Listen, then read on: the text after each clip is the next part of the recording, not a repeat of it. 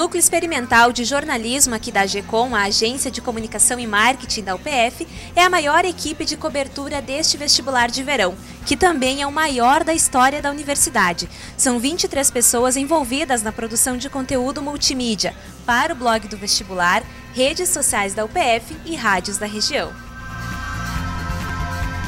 A equipe do rádio vai produzir boletins que vão ser gravados, alguns que vão, a gente vai alimentar 26 rádios aqui da região. Alguns boletins vão ser ao vivo e outros gravados que vão uh, estar sendo vinculados no decorrer do dia.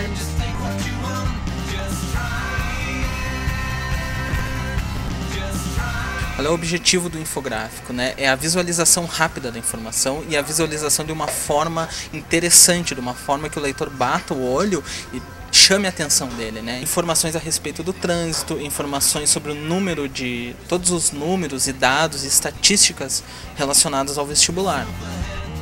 A cobertura será feita em tempo real, as pessoas podem tirar suas dúvidas através das nossas redes sociais. Serão mais de 10 horas de cobertura que vai envolver três professores, quatro funcionários, 10 estagiários do núcleo e mais seis alunos da Faculdade de Artes e Comunicação.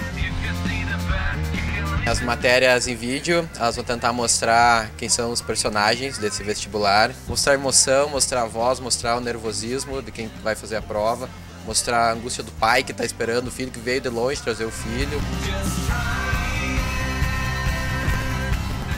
Produção fotográfica do Núcleo Experimental de Jornalismo para o blog do vestibular vai ser com três fotógrafos. Então vão ser três pessoas apontando a máquina para vários lados para tentar uh, captar todas as imagens que vão ocorrer aqui. Hoje em dia a fotografia está em alta, todo mundo está querendo se ver nos blogs, nas redes sociais e a gente vai estar tá disponibilizando tudo isso também para a imprensa.